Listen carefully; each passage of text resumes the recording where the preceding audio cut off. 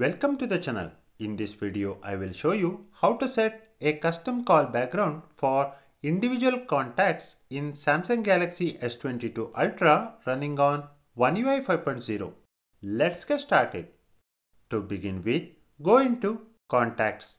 Choose the contact you want to set up a custom call background. Let me take this one. Tap on Edit and then View More. Here, scroll down. You will find Call Background. Tap on it. This is the page for selecting a picture or video to show when you make or receive calls. Tap Background. These are some preloaded backgrounds you can set for your contacts. To select another picture or video, tap the plus sign from the top right corner.